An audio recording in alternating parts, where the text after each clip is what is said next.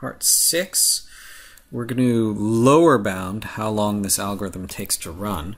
Uh, and there's a few different ways we can lower bound. You may have done a decision tree argument in 221, which is one way to do lower bounds. Uh, but one nice way to do a lower bound is just to ask how long it takes to look at all of the input.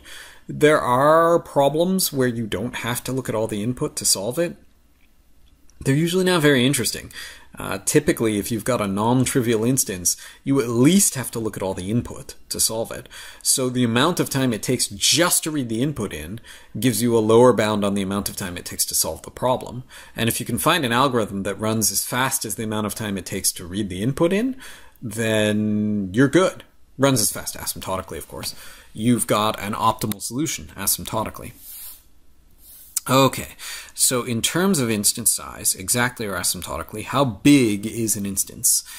Uh, let's see now. What is an instance? Let's let's run back up again. I think we wrote that out, didn't we? There's a solution.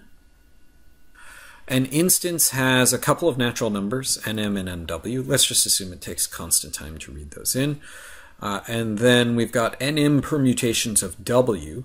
Reading in that per, those permutations, uh, that's going to take as long as the size of w. Uh, again, if we assume that each element of w takes constant time to read in.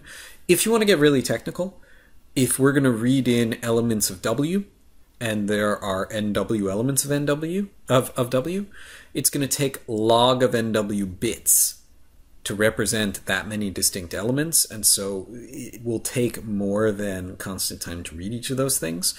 And if you want to get really, really deep into theoretical analysis, you gotta think of that kind of thing.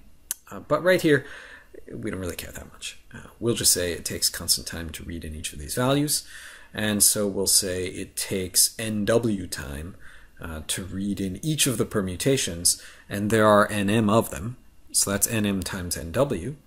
Then we've got all of the uh, women's preferences. There are NW permutations of the men.